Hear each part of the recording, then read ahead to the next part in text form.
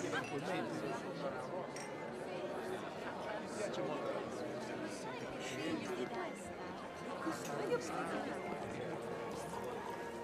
enjoyed the performance, Commendatore? Oh, very much. Um, Allegra, this is Dr. Fell, curator of the Capponi Library. Signora Pazzi?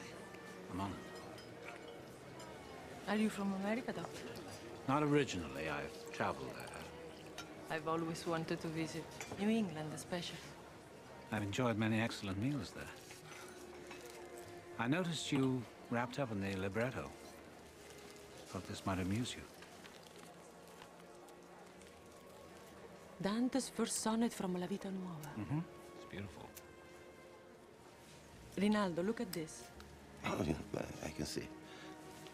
Joyous love seemed to me, the while he held my heart in his hands, and in his arms my lady lay asleep, wrapped in a veil. He woke her then, and trembling and obedient, she ate that burning heart out of his hand.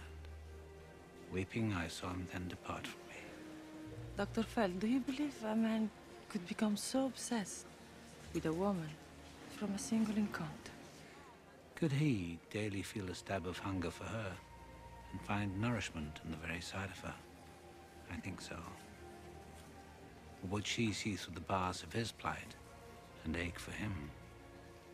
Please keep that. Oh, I couldn't. I insist. Commendatore. Allegra. Ciao.